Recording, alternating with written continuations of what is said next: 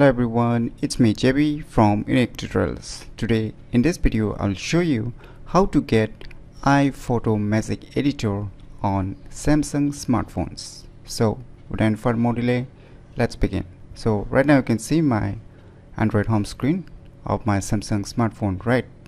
So firstly what you need to do is you need to download one application named as Galaxy Enhance X. So this app is developed by the Samsung itself so I'll be leaving this applications download link in the video description so you can click there and download and install this application.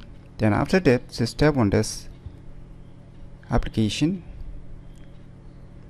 So you can see the instru instructions. Some you can see here the magic enhance pictures with a just one click.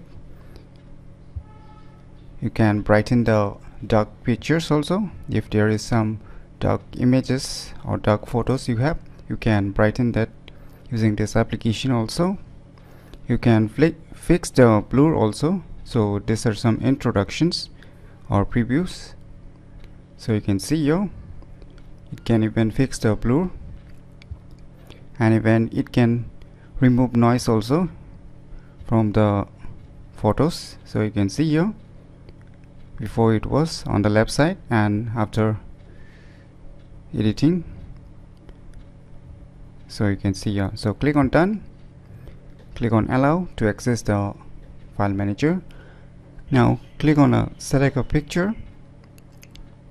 Now select your respective picture. Say let me select this camera picture. So now below you can see here from the left bottom you will see uh, HDR brighten fix blur sharpen and there is a more also if you click on more. So there is a fix more Pixmary remove reflections face and portrait also. So and just above to it there is a magic editor bubble icon. You can click on there also to directly make it edit. And on the above you can see a plus from where you can add more pictures. And just near to it is a crop. You can just crop these pictures also. And there is a share button and there is a download button. And on the right top corner you can see a three dot icons. If you tap on it you will see share this app. About this app you will get. So let me try to sharpen this photo. So in order to sharpen this photo what I will do I'll just click on the sharpen option. Wait for a few seconds. So you can see here before and after right? So on the left side is before applying this editor or the effects so and after as you can see here on the right side is the after edited so it will compare side by side the original one and after editing how it looks.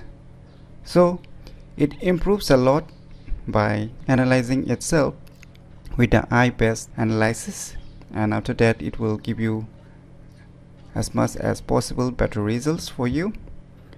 And once you are satisfied you can see here on the right bottom a tick mark just click on it to apply the changes. And now if you want to save this edited photo then you can see on the above on the right above uh, arrow icon.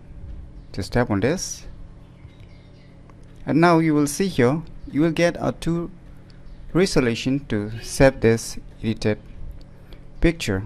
So the first one is the original one so you can enlarge it and save it in the larger format also. If you wish you can see here there is a 2x so you can see the picture resolution will also increase. So if you need a bigger picture resolutions then you can just select the next option and you can just click on save.